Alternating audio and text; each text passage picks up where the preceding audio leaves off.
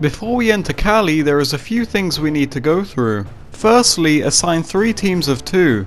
Now assign numbers 1 to 6 to each of the three teams.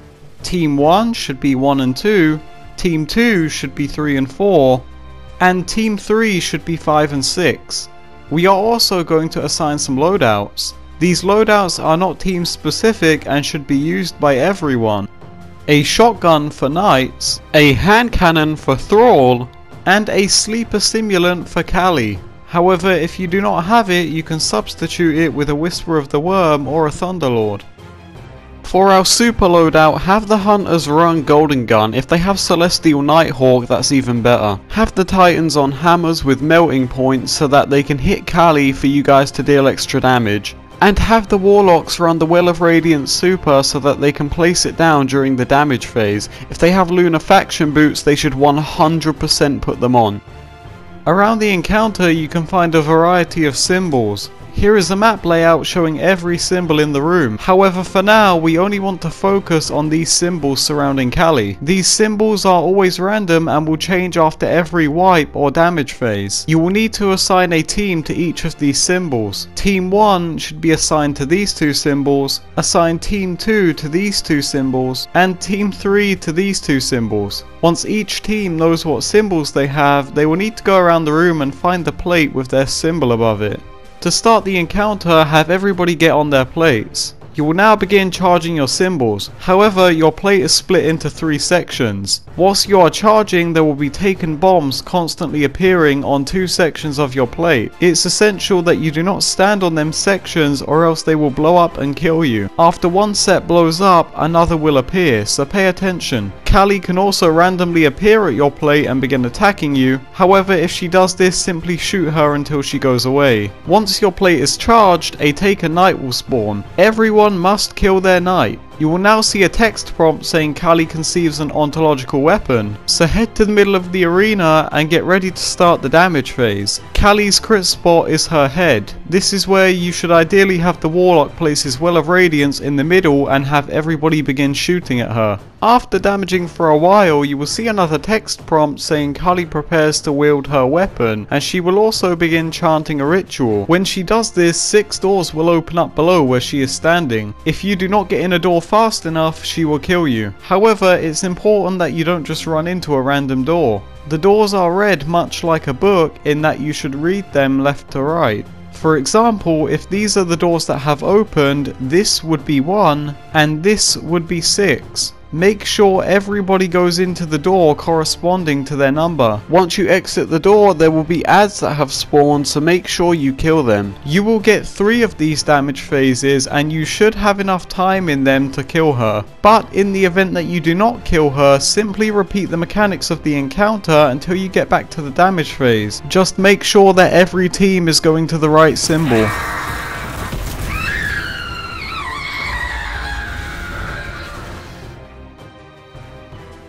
So now that you have killed Kalli, you can successfully move on to the next encounter, Shuro Chi. However, there is quite a long way to go and there will be a bit of jumping to do, so follow where I go in the gameplay and you should get there no problem. One thing that's important to note however is that along the way there is actually a secret chest you can get and I'm going to show you how to get to that too.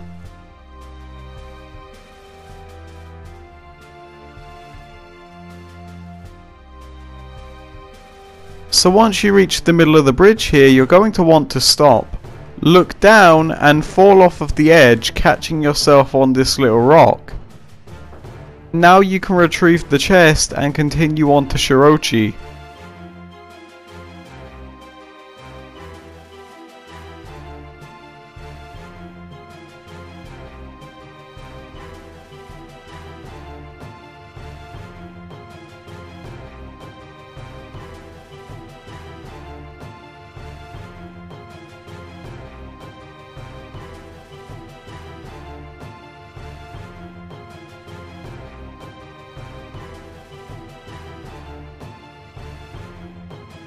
Now that we have made it to Shuro Chi, you guessed it, we're going to assign some teams. Four people for Puzzle Room and three people for Crystals. You may need to assign one of the people from the Puzzle Room to a Crystal due to there only being six of you. Also make sure to assign the Puzzle Room team numbers 1 to 4. And once again we are also going to choose some loadouts. A shotgun for damaging Shuro Chi, a pulse rifle or hand cannon, and a Thunderlord or Sleeper Simulant.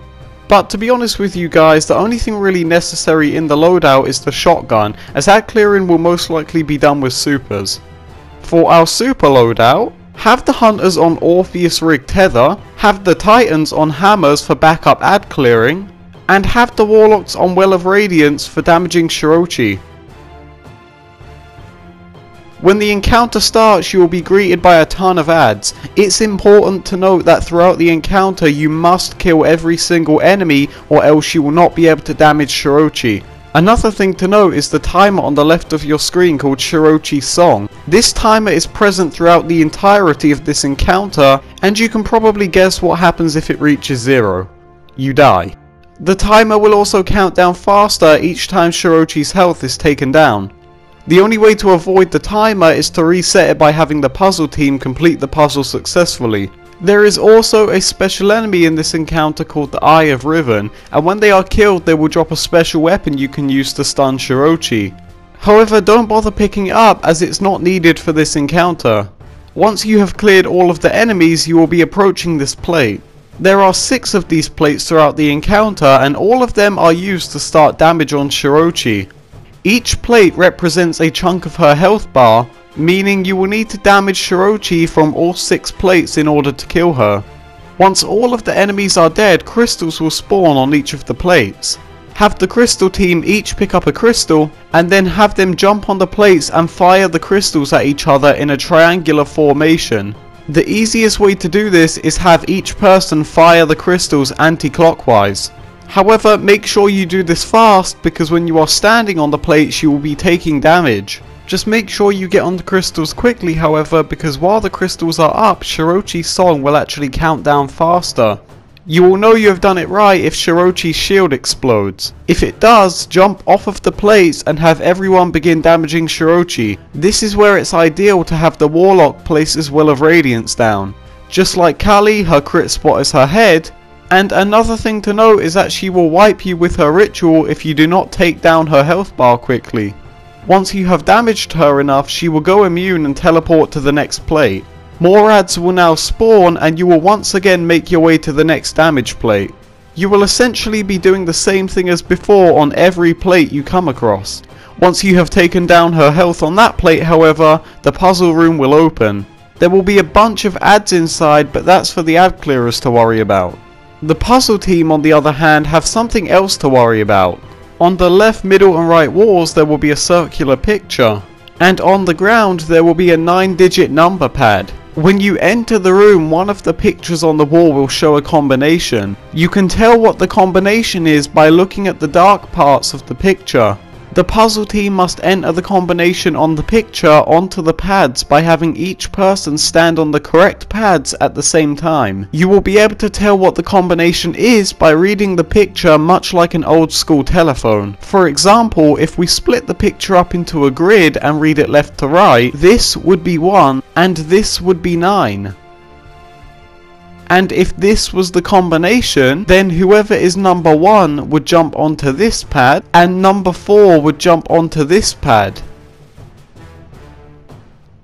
So once you see the combination on the wall, make sure you read it left to right. You are essentially just copying the picture onto the pads with your team. Just make sure that when you are entering the code, you are facing the picture which is showing it. Once everyone knows their number, have them jump onto the corresponding pads at the same time. Because just like the crystals, the number pads will damage you. If you have entered the right combination, it will say code accepted and you will be given a new code on a different picture. You will now essentially do the same as you did before two more times to complete the puzzle. Just be aware that once you step on a number pad once, you cannot step on that pad again. So if you are unable to step on that pad, ask one of your teammates who hasn't stepped on that pad yet to switch with you. Once all three puzzles have been solved, Shuro Chi's song will reset and platforms will appear above you. You will then climb up to the next level and essentially just repeat the mechanics of the encounter again until Shuro Chi is killed. The only thing that changes is that once you get to Shuro Chi's final plate, she will have much more health than before, and there will also be a lot more ads spawning. But with enough teamwork and the right loadout, I'm sure you guys can get this done no problem.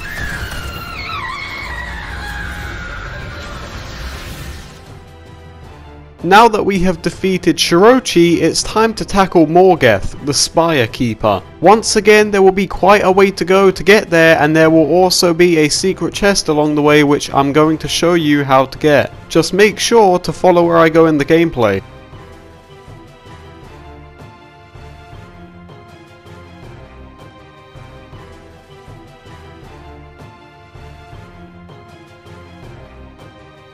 Once you get to this area here, you will need to jump along these trees until you eventually get to the top.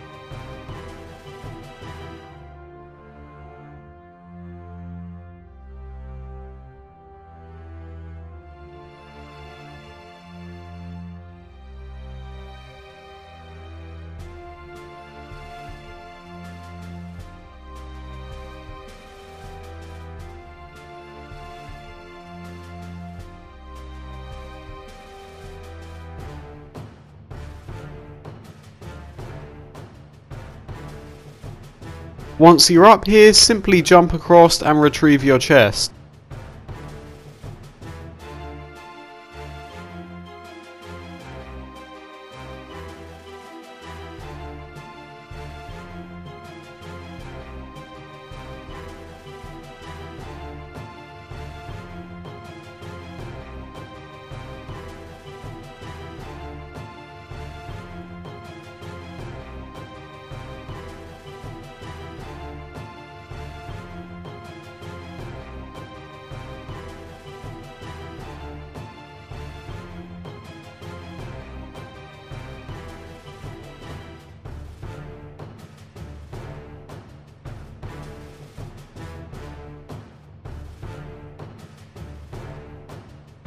Now that we're at Morgeth, it's once again time to assign some teams. Put two teams of three on either side of the encounter, so left team and right team. Now assign the following roles to the team. For the left team, assign someone to first and last pickup, assign one person to first pickup for left side, and assign one person to first cleanse on left side. On the right team, assign one person to first pickup for right side, assign one person to first cleanse for right side, and have the other person as a spare cleanser just in case. For loadouts, have everyone run a rapid fire shotgun, a primary of their choice, and a sleeper simulant or thunderlord. For our super loadouts, have the hunters run blade barrage, have the titans run hammers, and have the warlocks run the well of radiance with lunafaction boots. However, the only super required here is the Well of Radiance.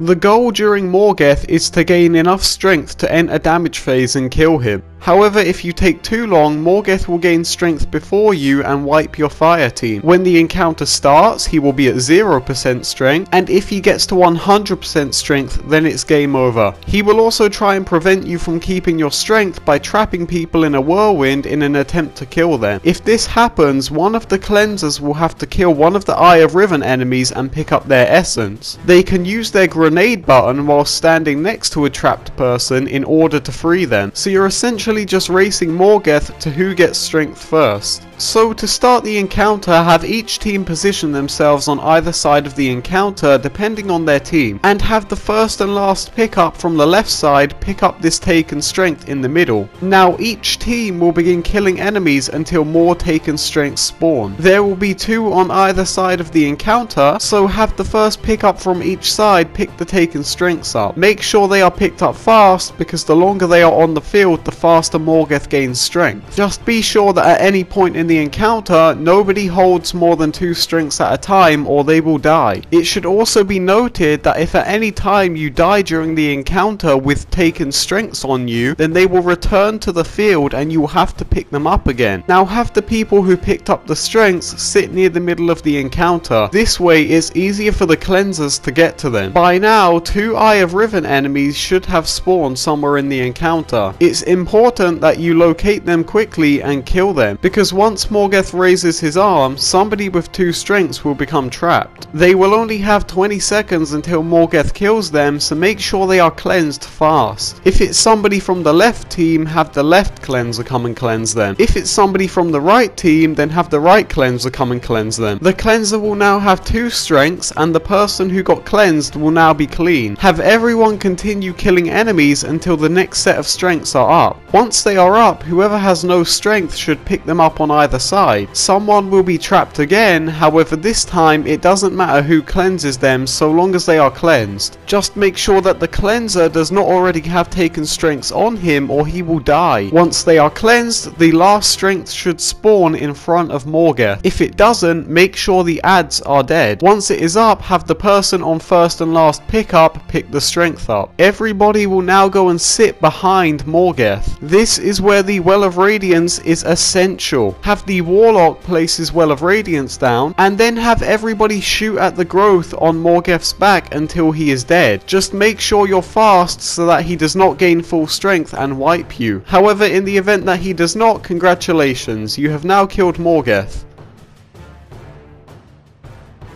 Before we start the vault encounter, it's once again time to assign some teams. Assign three teams of two, the stairs team, the trees team, and the rock team, and then assign roles to each of the teams. You will need a reader and a defender, so decide between yourselves who is doing what. For our loadouts, a shotgun, a primary of your choice, and a sleeper simulant or any other high damage heavy weapon. And for our super loadouts, have the Hunters on Blade Barrage, have the Warlocks on Chaos Reach, and have the Titans on Hammers. To start the encounter, have the readers stand on the plates outside of their corresponding location. Three symbols will appear on the ball in front of you. Whoever is on stairs needs to pay attention to the middle symbol and call it out. Here is a list of all of the symbols and what you should ideally call out to your teammates. And while these are the most common callouts to use, you definitely don't need to use them if you don't want to. When Stairs calls out this symbol, whoever is on tree and rock must find where the symbol is on their plate. Depending on where the symbol is located, it will be assigned a buff. It will either be Penumbra or Antumbra. If the symbol is on the left of your plate, it will be a Penumbra symbol. And if it is on the right of your plate, it will be an Antumbra symbol.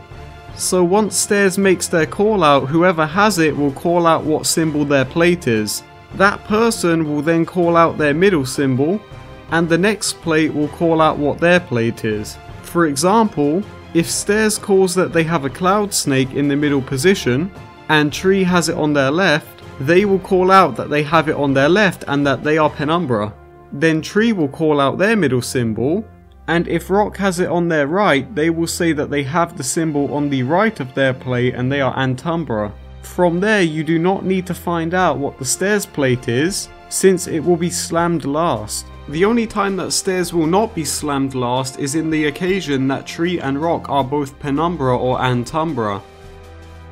So once everybody knows what their plate is, step off of them. Now two of the three rooms will seal shut, however the one that is open will begin spawning a lot of ads. Whoever is the reader from that room will go inside and kill ads until the Eye of Riven spawns. Once killed, have the reader pick up the taken essence that spawns. The room will also seal shut and another will open, so those who are outside will call out to the person inside where the opening is. Depending where it is, the runner will run to the closest exit with the essence. Here is a map layout showing the layout of the rooms.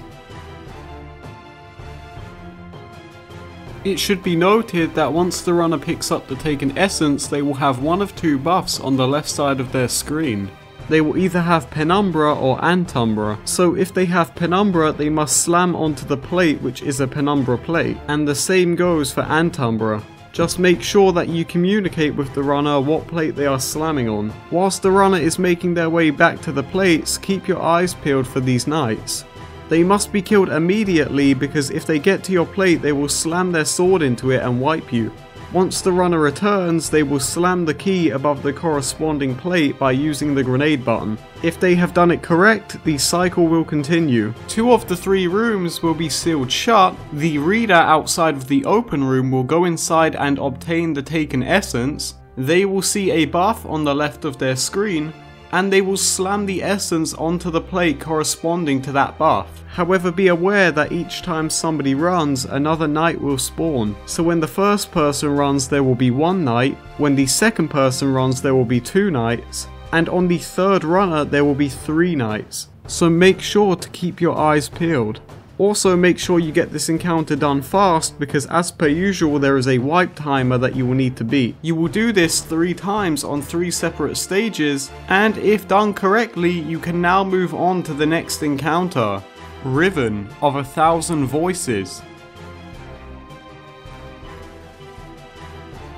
Now before we enter Riven, I should point out that there are two methods to killing her, the cheese way and the legit way, but due to the popularity of it, I'm going to be teaching the cheese way in this guide. However, if you guys want a guide on the legit method, then let me know in the comments and I'll be sure to make a guide on it in the future. With that being said, we don't actually need any teams for this encounter. We do, however, need to assign some loadouts. These loadouts are essential, so make sure you do not ignore them. Have 5 people using a rocket launcher with cluster bombs, and have 1 person using a tractor cannon. And for our super loadouts, have the Hunters on Golden Gun with Celestial Nighthawk if possible, have the Titans on Melting Point, and have the Warlocks on Well of Radiance with Lunafaction boots. However, the only supers here that I would say are required is the Hunters and the Warlocks. Around the room there are 6 plates. Have each person step on a plate to start the encounter. You will begin descending into a room with 2 exits. Have everyone make their way to the room with a crystal in front of it. Go all the way inside until you reach the room shown in the gameplay, and pay attention to the black screen in the center. If you see a silhouette of Riven swim past, tell your team to stay in the room. If she does not, then exit the room with your team and have them stand up against this wall here that you see in the gameplay. You will be teleported out of the room and you will have to make your way back in there to get to Riven, so follow where I go in the gameplay to get back to the room.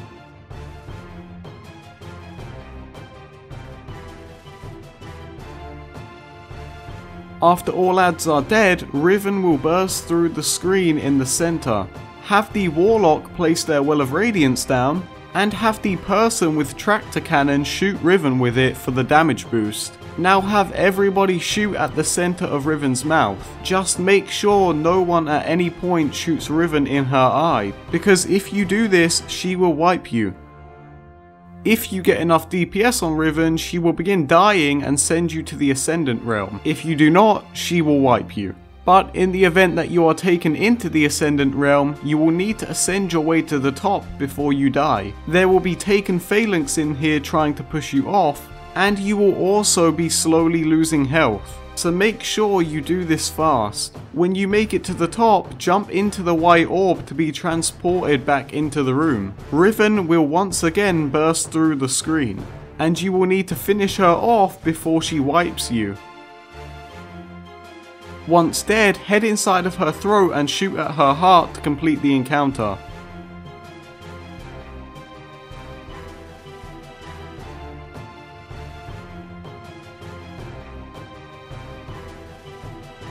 In order to finish off Riven, we need to deliver her heart to the Techeuns. And since we are at the end of the raid, for once I'm not going to assign any loadouts for you, so go out there and have fun. To begin the encounter, look at the side of your screen for something called Fate's Chosen. If you have this buff, you are the only person who can pick up the heart. Have the person with Fate's Chosen pick up the heart and have everybody run to Riven's throat, having those who are not chosen stop before her tongue.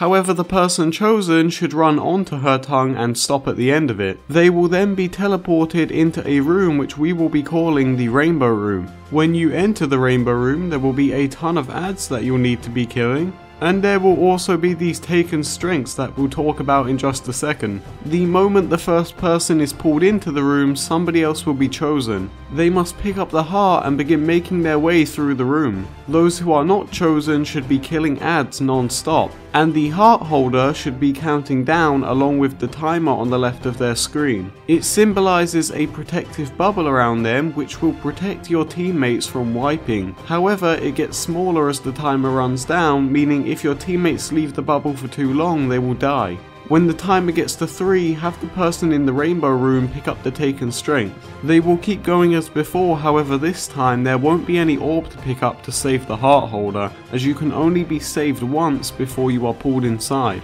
So once they are pulled inside, have the next chosen person pick up the heart. Just make sure that when you drop the heart, none of your teammates are standing next to it, as it has a chance to pull them into the rainbow room. From here it's the exact same as it was before, the only thing that changes is that for each person new inside of the rainbow room, there will be another orb to pick up. But whoever was transported in first should ideally pick up the last orb each time, so have everybody else inside there pick up the orbs, leaving one left for that person. Just be aware that like in the Morgeth encounter, if you pick up more than two taken strengths at a time, you will die. So please communicate with your team throughout the encounter. I can't stress this enough. The heart holders will eventually get to the vault encounter. Similar to the actual encounter, a door will be sealed shut when they get inside. But the door that is sealed shut is always random and it's different each time you go into the encounter. Run into the open door and make your way through the tunnel on the side of the room.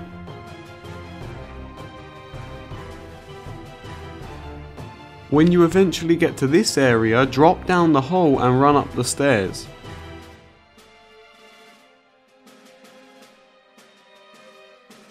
Slam the heart to finish the encounter and complete the raid. You can now go and unlock one of the chests with your key and begin celebrating. You have just beaten the Last Wish raid in Destiny 2. Thank you guys so much for watching. If you did enjoy the video, a like is greatly appreciated. Have fun raiding and have a nice day.